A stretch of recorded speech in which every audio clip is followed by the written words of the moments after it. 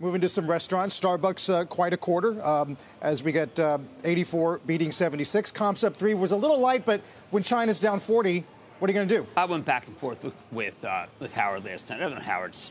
I don't know. I'm not going to say since he was born. We were going back and forth about things that happened in New York in the 60s and 70s, but this was an amazing quarter. First of all, he's reconfiguring the stores. He recognizes the cold brew is now what's, is what's really important. Second, these numbers ex China were extraordinary. Third, he's doing his listening tour, talking with everybody. They're going to change the formats. I think that this was the beginning of the next leg Starbucks. And as I told Andrew in the previous show, my charitable trust, we have a big meeting tomorrow. I have to put this in the bullpen. It was too extraordinary. I, I got to tell you, Howard was the old Howard. It was a well orchestrated conference call. I told him it was like eh, when I was growing up, there was this fellow, Milton Cross. Milton Cross was the person you listened to to understand the opera, if you didn't understand. It was for legendary Metropolitan Opera, of course, brought to you by Texaco. And I would listen rap to Milton Cross to understand what the opera meant.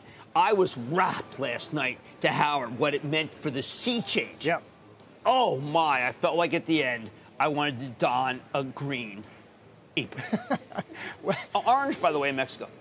Orange is Home Depot. Uh, No, in Mexico. In. Mexico? Orange, yeah, orange? I was like, "Where's the green apron?" She said, "No, this is Mexico." It was fascinating to listen to the CFO talk to Bullard on Squawk about how consumers are not only enraptured by cold brew and cold beverages, but not yet willing to trade down. And this is what Schultz said about inflation last night.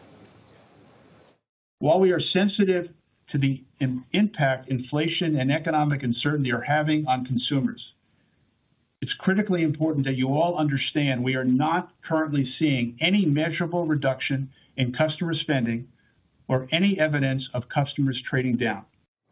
which kind of collides with what Yum said a few moments ago, in that the low end is actually trading down quite a bit, and KFC missed, pizza missed. Yeah, Pizza Hut has been struggling. I go back to I had Nestle CEO on last week. Nestle's got this deal with Starbucks, that, and both confirmed that deal is working incredibly well. Now, uh, Mr. Gibbs, Dave Gibbs on, on uh, Yum, give him some credit because Taco Bell is doing high single digits, it's, and they've added a lot of units. I don't think Yum, uh, you know, Yum, Yum's going to trade down because he didn't blow away things. But remember, they also had a Russia problem. Russia, FX. Uh, Taco was tr- double the estimate. Taco Bell plus eight, Pizza Hut minus three in, in true numbers, KFC minus one.